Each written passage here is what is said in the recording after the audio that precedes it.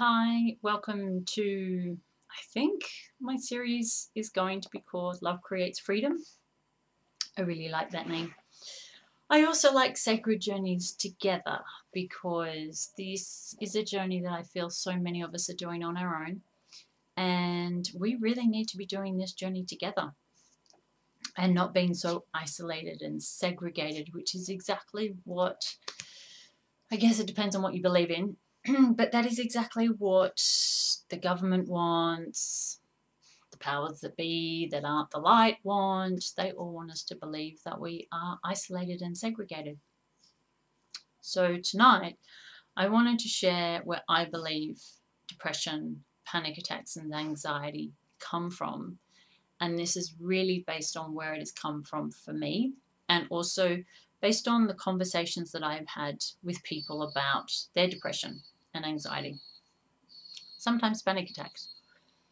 So I believe that this goes all the way back to childhood and this essence of feeling completely unsafe as a kid.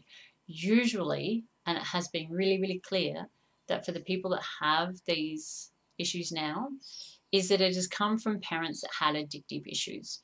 So whether it, they were addicted to alcohol or cigarettes or drugs or TV or exercise, anywhere where a parent was so focused on themselves that they neglected to protect their child.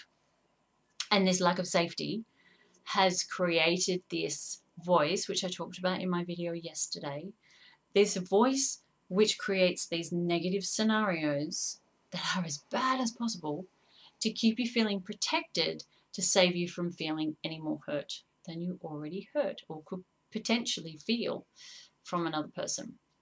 So for me, I can see really, really clearly it went all the way back to there are a few really defining moments in my life which created unsafety one of them was when I broke my arm when I was about seven and I fell off a swing bar. I was hanging up the top and I fell down and broke my arm. And my mum was not there. No one was there. The girls that were there didn't really know what they were doing. And so that was my first moment of feeling really unsafe. The second moment was when my neighbor, we were playing tag and she ran up to the top of the tree and I raced up and I went to tag her and she went tumbling down to the bottom. And that was that was a really one of very defining moments where I felt unsafe. And I also felt so responsible that I can really see that that moment and one other moment where I accidentally, I was playing on a trampoline with a girl and I double bounced her and she dislocated her shoulder. Uh, I was only about seven or eight at the time. These moments where I felt so responsible that I actually disconnected my friendships with them because I didn't know what to do with that. And so all of these little stories of creating all of this unsafety within me. And there are other moments as well. My mum was a massive alcoholic, what people call a functional alcoholic. No one really knew she was an alcoholic until after I moved out of home. And there are other scenarios with different people in the family which I do not want to go into because I do not know how they are going to react to me talking about them. So I'm not going to talk about those. However, they were really massive scenarios that left me feeling extremely unsafe. And there was one other moment which I remember. Uh, my mum was on the couch and she'd been drinking, and I was in the bedroom and I was eating chicken and the chicken got stuck and I actually started to choke and I couldn't breathe. And I raced out into the lounge room and I remember I was pointing to my throat and I was trying to breathe and she laughed at me. She thought it was hilarious. And I fell on the ground and that momentum of me falling on the ground and my chest hitting the ground actually pushed the chicken out of my mouth. And that's what saved me. Or it was the angels who gave me a big shove so I'd fall on the ground and push the chicken out. So these moments, all of these little moments created all of these these feelings of being unsafe. And then the unsafety, as I got older, created this control mechanism inside my brain. And there was another one where I was taking drugs and I had a really bad night. We had a car accident on the way to a rave, and I was about 19, I think. And the other girl, she freaked out. I supported her through her freak out. And then we went and we had way too much. And my brain went on the logic that the more I take, the more I will forget about the car accident. But that turned around its ugly head, and I ended up in hospital with my dad and then at the drug clinic claiming I was an addict, which I wasn't.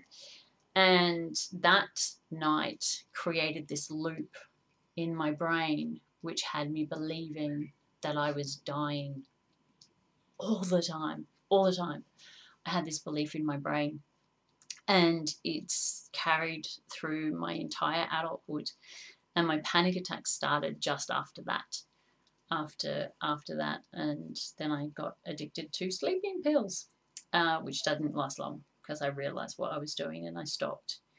So all of this unsafety, all of these stories, they all create this control pattern where you need to control something. And then usually you become an addict yourself. I actually turned into an addict and ended up with an eating disorder when my mum got sick and I found out she was dying. I couldn't handle it.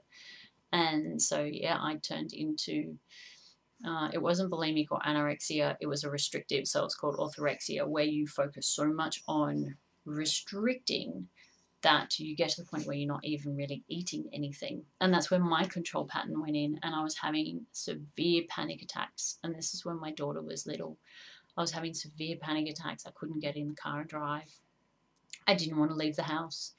Um, going across the road was really hard, and driving on the freeway was impossible. For almost three and a half years, I haven't driven on the freeway. I'm starting to drive on it again now because miraculously my panic attacks have gone away because of the breathing that I'm doing and the focusing that I'm doing, and also acknowledging all of these parts of me that feel so unsafe and that feel so scared and that feel like they need to control my environment, just control.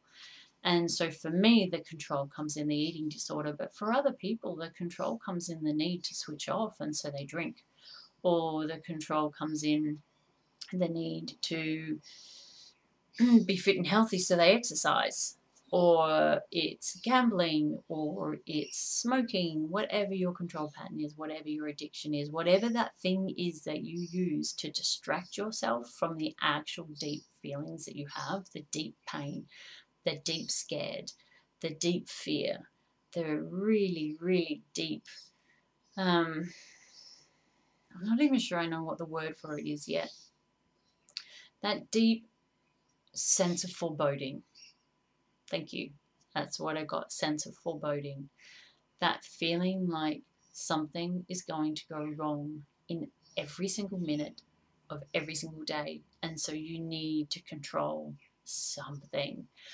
But as people, we cannot control anybody else. We tried. I tried. I lost lots of friends. I lost two of my best friends because I went into a control pattern when my two weeks before my mum died they ended their friendship with me. But over the course of mum dying, and even before that, I just had such a severe control pattern around people. And so I projected that control onto everybody else. And so yeah, it it is a it is a hard journey when you have been raised by parents who have addictive issues. However, I will say one thing before I get off which is I sit in a place of compassion for my mum and also my dad, but more my mum because this affected my mum more, which was her dad. So she was raised around the Depression. She was also raised around the war. My grandpa went to war. She didn't know if her dad was coming home. She was raised by a mother who was also someone who participated in the war. She did all sorts of really interesting things uh, for the war people. And so my mom was raised in this environment of confusion and fear and scarcity through the depression. There was a lot of scarcity, not not having enough food to eat, not having money to do anything. And my mum, they did not come from a, an affluent background. They were working class people. And so my mum had her own control patterns, which were then amplified when she lost her son. And then that was amplified even more when my dad left. And then that went out of control when my dad got remarried. And that's when mum really started hitting the alcohol, is when my dad got remarried. And so I can see how she did not have Facebook as support. She did not have people on video that were explaining about anxiety and depression and panic attacks and postnatal depression and all sorts of things like that because my dad left pretty much the day I was born. So my mum was left with a newborn uh, to raise all by herself. And yeah, it it just created this this control pattern in me. And all of that say unsafety of my upbringing has created that. And all of that has created the panic attacks and the anxiety and the stress and everything else. Don't you dare jump on my computer. This is one of our cats. This is little Miss Katie Daisy. There you go, I got there. So that's kind of what I wanted to share tonight was where I believe panic attacks and anxiety and depression come from. And I'm hoping that this is helping somebody out in the internet world to start to become a little bit clearer about where their issues are coming from. Um, I think that's pretty much it for me. Thank you very much for watching. You can find this series of videos that are going to be connecting on Facebook. There's a page called Love Creates Freedom, and there is also a website called lovecreatesfreedom.com. So feel free to check either of those out. And I will be back online again tomorrow to do another video. Thank you, thank you, thank you for watching.